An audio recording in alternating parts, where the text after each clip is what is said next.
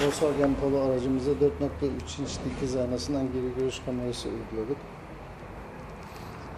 Diğer pololarda yaptığımız gibi iki plaka lambasının hemen ortasına Pipo diye tabir ettiğimiz kameradan kullandık. Pipo model. Kendi orijinal aynasının üzerine aynamız geçmedir. Normalde füme renktedir. Arkaya baktığınızda uzun selektörde rahatsız etmez sizi. Aracı geriye taktığımızda böyle canlı net bir görüntü alabiliyoruz. Gayet güzel bir uygulama oldu. Güle güle kullansınlar.